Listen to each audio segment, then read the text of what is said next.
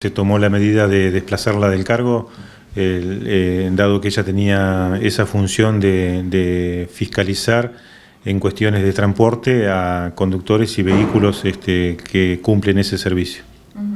O sea que fue una situación, eh, digamos que contraproducente, por decirlo de alguna forma, con respecto a la actividad que ella desarrollaba. Sí, obviamente, este, uno debe ser consecuente con la, con la función y la, y la actividad que, que desarrolla. Imagínese usted que si ella cumple una tarea de fiscalización, mal pudiéramos sostener su función este, cuando no ha hecho, digamos, lo que debe o lo que pregona o debe este, fiscalizar. ¿Cuál es la situación concreta de esta persona en el momento del accidente? Eh, bueno, nosotros las actuaciones administrativas eh, no las tenemos, no, no, fueron producto de una actuación de, esta coordinación, sino que actuó la comisaría mm, segunda este, y, evidentemente ellos han determinado que esta persona conducía ese vehículo y protagonizó este accidente que consistía en la pérdida de,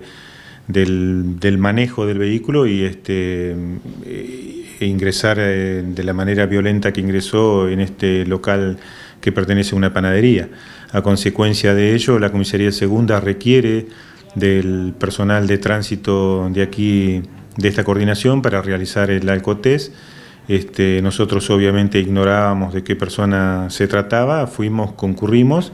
y lo hicimos este, como lo hacemos con cualquier, este, lo hemos hecho con cualquier otro, con cualquier otro vecino y producimos el informe que corresponde eh, a, a ese respecto, lo cual fue adjuntado a las actuaciones que llevó a cabo la comisaría segunda.